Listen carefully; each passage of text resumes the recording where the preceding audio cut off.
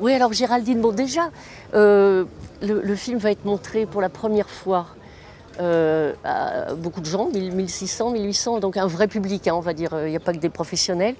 Euh, est-ce que vous appréhendez ou attendez avec impatience, avec un film comme celui-là, vous serez dans la salle, de, saisir les réactions de ces 1600 personnes qui peuvent être d'ailleurs très, très différentes hein.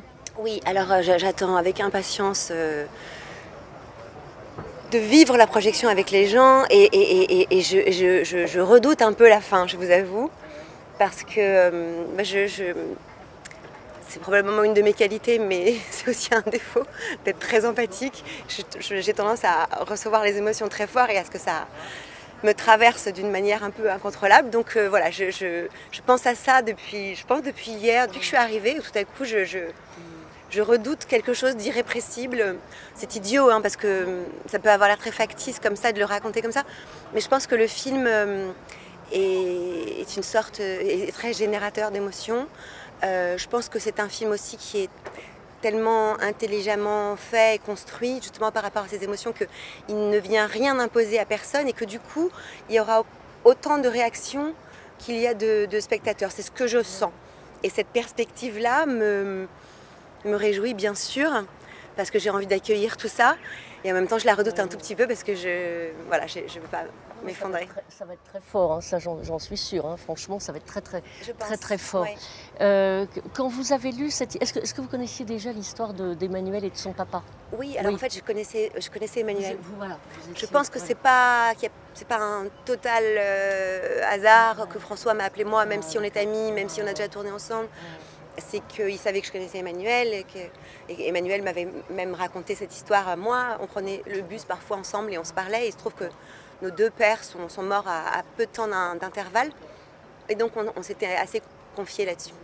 Et puis elle a écrit ce livre que, euh, je me souviens avoir lu euh, en une heure et demie, euh, vraiment sans respirer. Je crois que c'est la première fois que j'ai le souvenir d'avoir vécu une expérience littéraire comme, comme celle-là, avec sa façon d'écrire presque télégraphique au début, mais surtout tellement cinématographique. Et du coup, quand François m'a contacté pour, euh, pour me proposer euh, un rôle dans ce film, euh, bah, j'étais vraiment bouleversée de savoir que cet homme que je chéris, ce metteur en scène que je chéris et que j'admire, allait adapter le livre de son ami avec qui il avait déjà écrit plusieurs films et qui avait été une complice vraiment très, très précieuse et qu'il avait perdue. Voilà, il y a une espèce d'authenticité dans ce projet qui, euh, qui dépasse beaucoup de choses que j'ai, que j'ai eu à vivre euh, au cinéma euh, en fait jusqu'à aujourd'hui. Et puis, et, et, se trouve que rien de tout ça n'a été dénaturé par l'arrivée des autres personnages, des autres acteurs, parce qu'en fait tout le monde s'est complètement senti captivé, capté aussi par par euh, l'importance du sujet et, euh, l'intimité de, ce récit. Parce que c'est d'abord un récit intime. Et justement, bon, vous interprétez euh, la sœur, Pascal, dont peut-être Emmanuel vous avez parlé ou pas, qui a, un, rôle très différent dans, dans, cette histoire que celui d'Emmanuel. mais c'est pas parce que le père lui demande pas ou c'est pas parce qu'elle est en retrait qu'elle ne vit pas les choses à 100%. Euh, elle, donne l'impression comme ça de voilà, oh bah fais-le toi, moi je suis là.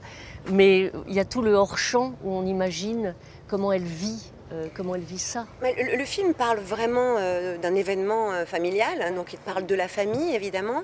dans la famille, il y, a, il y, a, une fratrie, en tout cas les deux sœurs, qui s'aiment profondément et qui ont une vraie entente.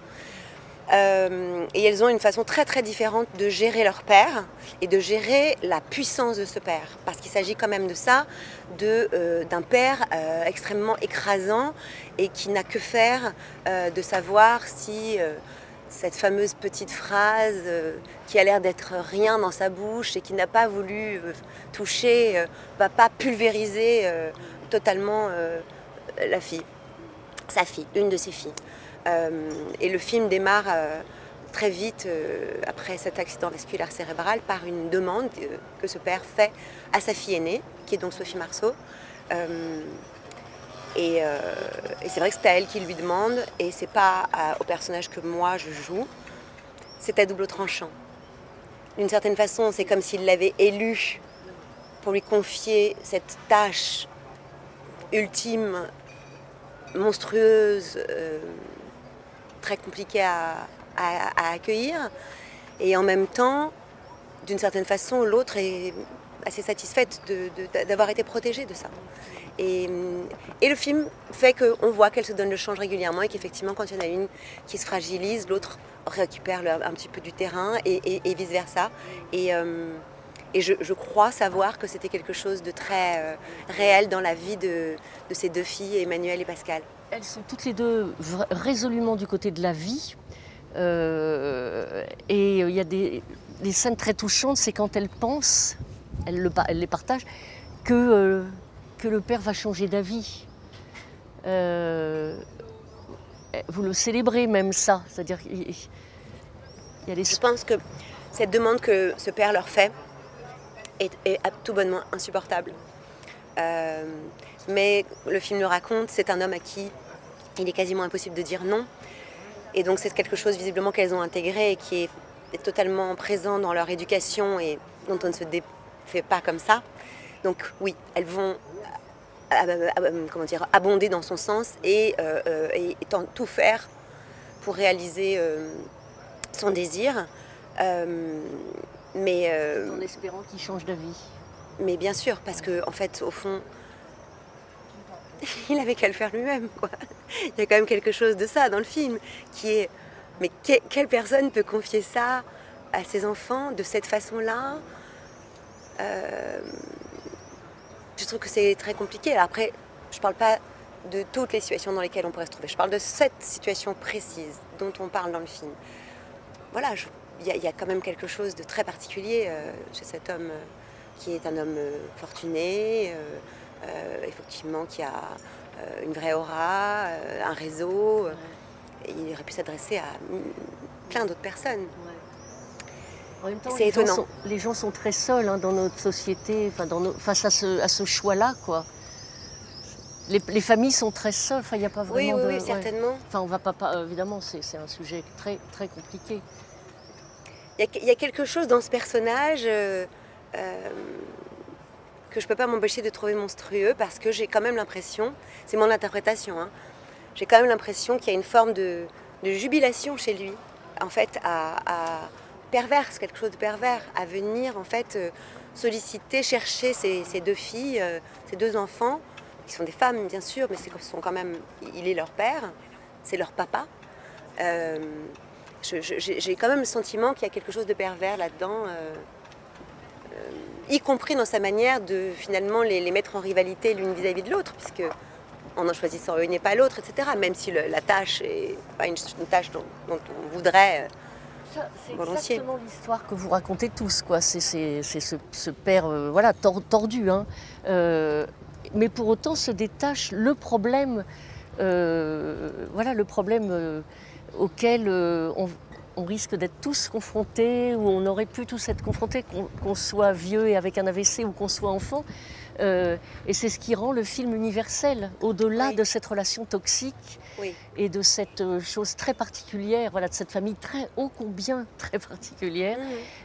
chacun s'identifie même à, André en disant mais attends moi si j'étais comme ça peut-être que j'aurais envie aussi de, voilà euh, à vous à, Emmanuel voilà c'est ça qui a réussi c'est au-delà de, la toxicité de cette famille on, on, on, on y est quoi.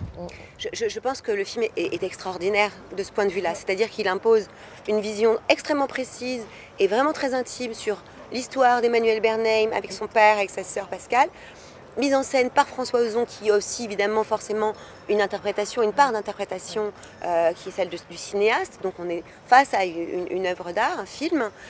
Et, et, pourtant, toutes ces choses qui, sont, qui sont imposées éclatent complètement pour pouvoir nous laisser à chacun la possibilité de nous glisser euh, dans, dans, cette histoire-là, qui n'est pas du tout la nôtre comme j'allais dire comme, sont, euh, comme font en général euh, les grands films.